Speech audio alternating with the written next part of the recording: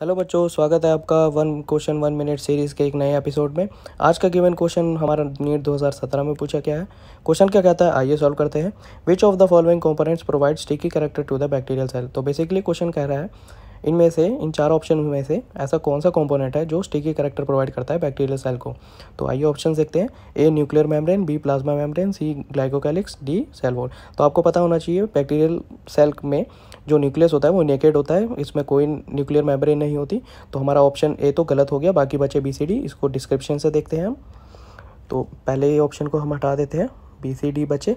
तो B C D के लिए हम डिस्क्रिप्शन देखते हैं। Glycocalyx is the outer most mucilage layer of the cell envelope, which consists of non-cellulosic polysaccharides with or without protein. It gives sticky character to the cell.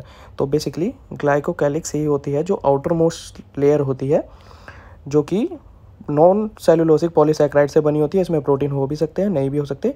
यही है main जो sticky character provide करती है cell को। तो इसका option हो गया ऑप्शन सी ठीक है? Thank you